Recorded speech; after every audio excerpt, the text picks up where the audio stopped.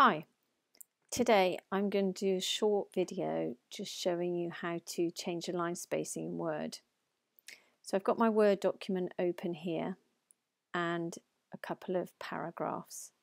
If I want to change the line spacing in the middle paragraph, I will just highlight that paragraph. I'm in the Home tab. I go to this icon here and as you can see it gives you a couple of options. So if I click on the middle one you can see now it's changed my line spacing.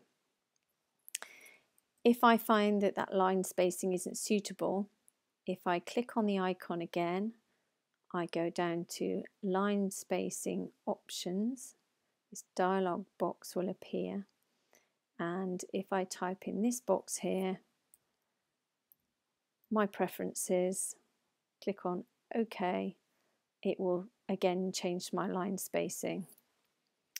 If I want to select my entire document, I can simply press Command or Control A to select my entire document, go back up to my drop down menu and simply click on my options.